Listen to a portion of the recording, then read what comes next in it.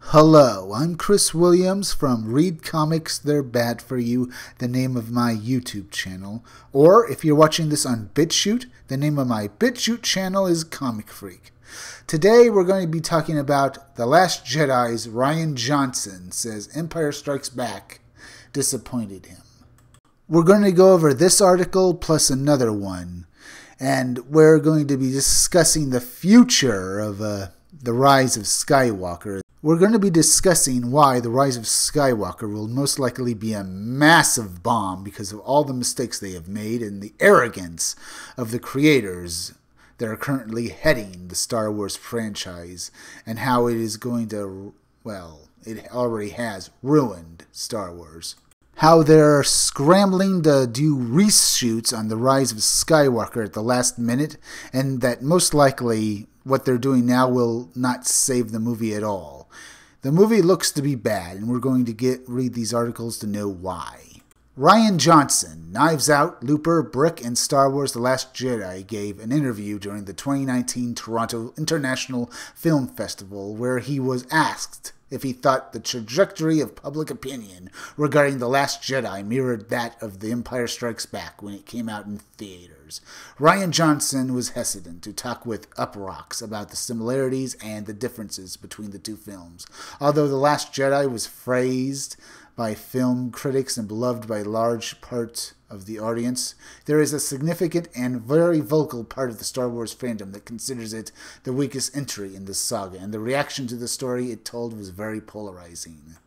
I only speak for myself, but I have to hate all these movie reviewers when they give these sort of two faced reviews, saying a large part of the audience loved The Last Jedi that wasn't a large part of the audience. Those were SJWs, and they were a very small part.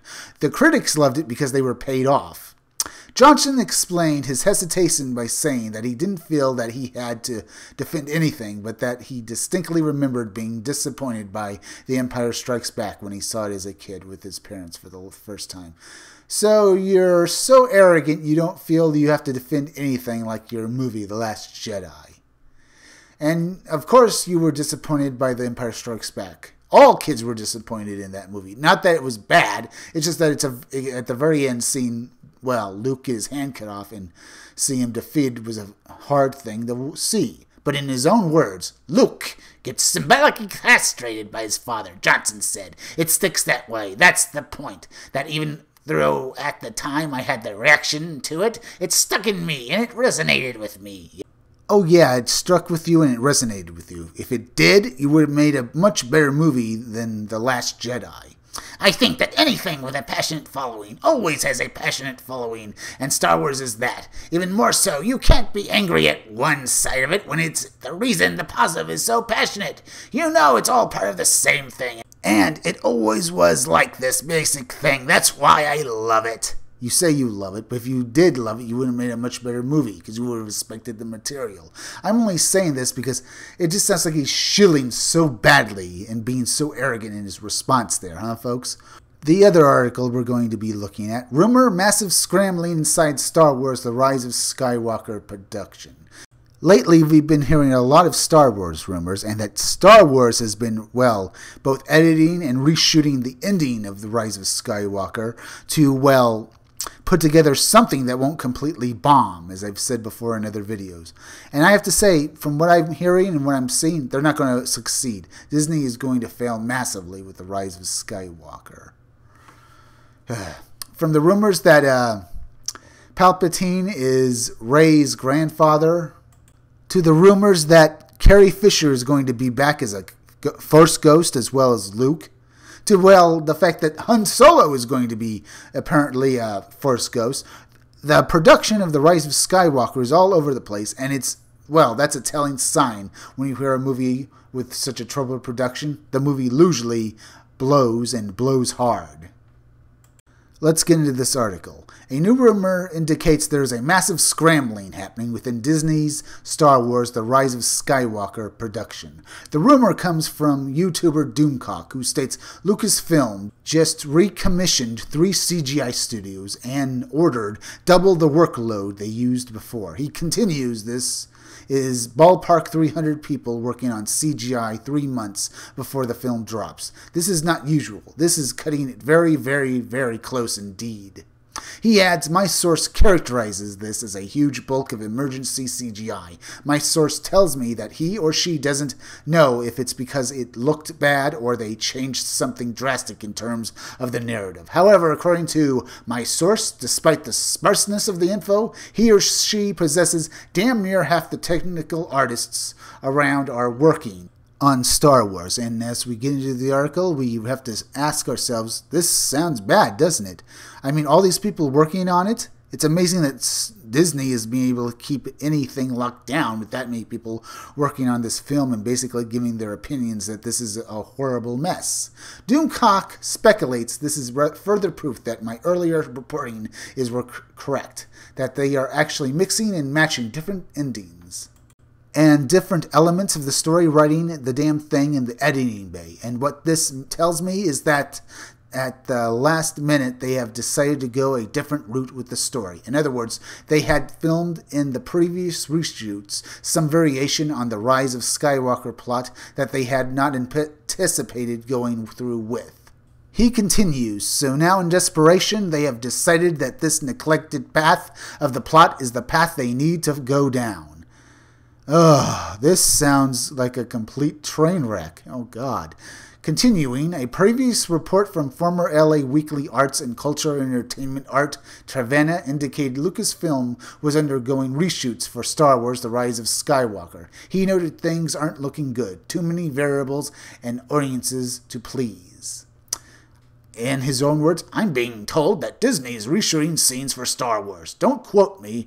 Things aren't looking good. Too many variables and audiences to please. George Lucas's as a creative consultant seems like a very likely occurrence, though there's no telling how much say he'll have.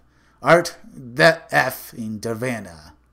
Making Star Wars would follow up that report with one of their own, noting that Lucasfilm has been conducting secret reshoots for the past several weeks of the film, like I've said. However, they've they dispute Lucas being brought on as a consultant, noting George Lucas has always been a consultant on the film. No, he hasn't. You kicked him off.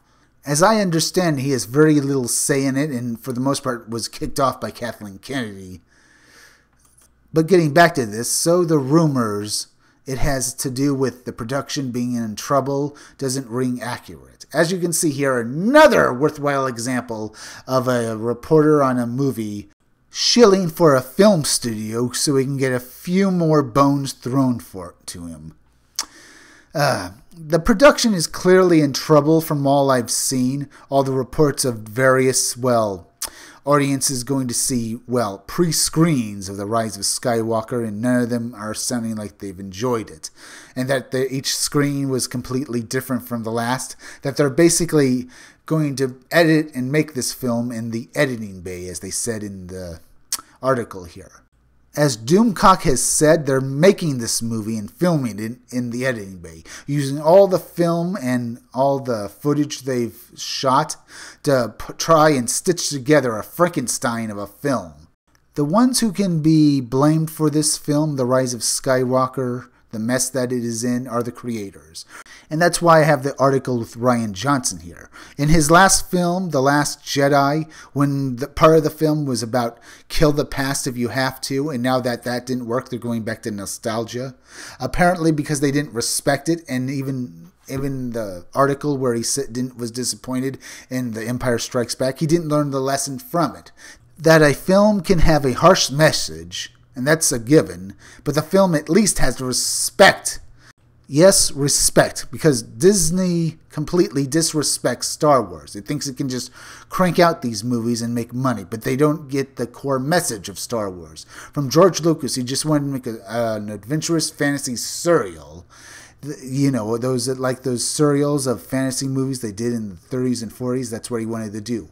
Where Disney doesn't understand it, they just see it as some way to make money. So they give this to people who don't know how to respect the past or come up with new and better ideas. No, they come up with lens flares and they disrespect and tear down things and they use their arrogance as a way to, well, try and deflect blame from them if they do anything wrong and ruin the movie that they were entrusted with.